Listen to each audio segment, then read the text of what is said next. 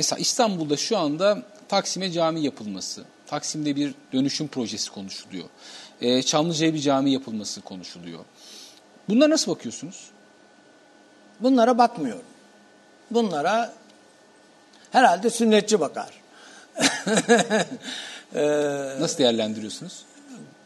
Bunların hepsi işte gafil ve hain insanların e, bir şey yaptıklarını e, zavallı, aklı ermez insanlara kabul ettirmesi şeklinde bakıyorum. Yani bizim e, ş- acilen üzerinde durmamız gereken Türk milletinin geleceğinin sağlama alınması yolunda bir e, tedbir manzumesi benimsememiz gereken yerde biz e, böyle şeyler yapmıyoruz. Şimdi bakınız burada kağıt mendil var. Bu ne kadar zamandır hayatımızda? 50 seneyi geçmez. Ee, Türkiye'de kağıt tüketimi SEKA fabrikası devreden çıkarıldıktan sonra arttı mı azaldı mı? Bakmadım bilmiyorum. Mutlaka arttı. Hayatımızda bir kullanılan tuvalet kağıdından tutun yani. Türkiye'de kağıt üretimi yok fakat kağıt tüketimi eskisinin belki 10 misli.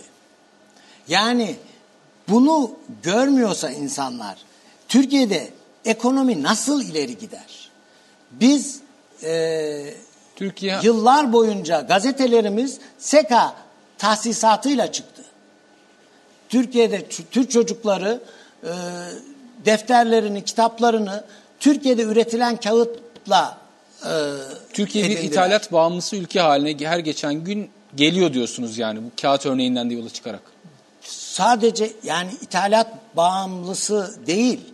E, her kademedeki sermayenin küçük, orta, büyük, en büyük bütün bu sermayelerin e, eğlencesi ve e, alay konusu halinde bir ülke Türkiye. Yani e, öyle bir ülke ki burası e, hangi alanda olursa olu, olun e,